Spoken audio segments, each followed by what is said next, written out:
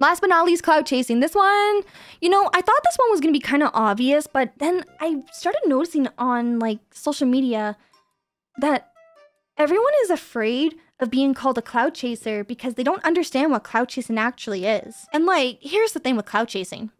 to me, clout chasing is when you make every interaction transactional while disguising it as friendship. I can't tell you the amount of times I've had VTubers who say they want to be my friend, how they admire me, how I'm the reason why they became a VTuber, and how they look up to me.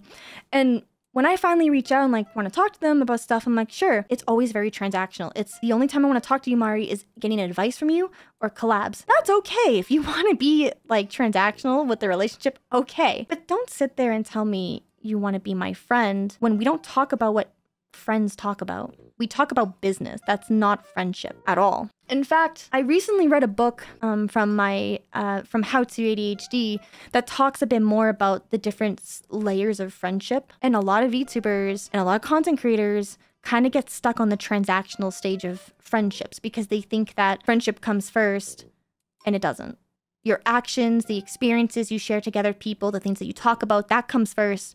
And then if a friendship develops, then the friendship develops. So you will be considered a clout chaser if you try to pretend like you want to be people's friends, but that's not why you're really here because you're afraid of being honest with people and say, hey, I'm here to do business. It's okay to be here to do business. Just admit that. Don't pretend like it's something else when it's not, because then that's manipulation and, and lying and clout chasing. That's going to hurt your reputation.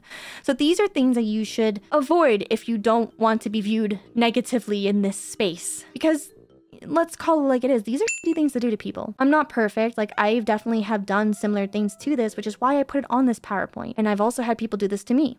So don't do these things. They're shitty. Let me go back a second. Is a transactional point in friendship just safer? Not necessarily.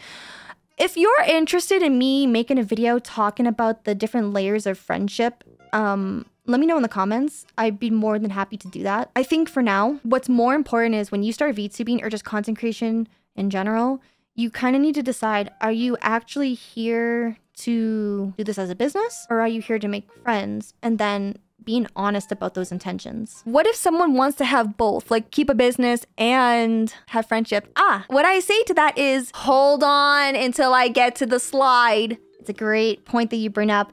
It will be talked about later when we get to the networking tab.